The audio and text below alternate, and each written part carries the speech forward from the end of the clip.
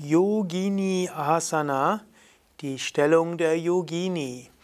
Yogini wird heute verwendet als weibliche Person, die Yoga übt. Wenn Frauen Yoga üben, wird man sie als Yoginis bezeichnet. Yogini sind, ist auch die Bezeichnung von weiblichen Yogameistern.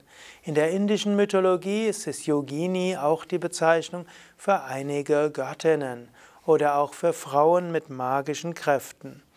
Und es gibt äh, verschiedene Asanas, die als Yogini Asanas bezeichnet werden. Garote in seinem Encyclopedia of Traditional Asanas erwähnt dort eine davon und Raffaella zeigt, wie sie geht, wobei sie auf zwei Weisen interpretiert werden können.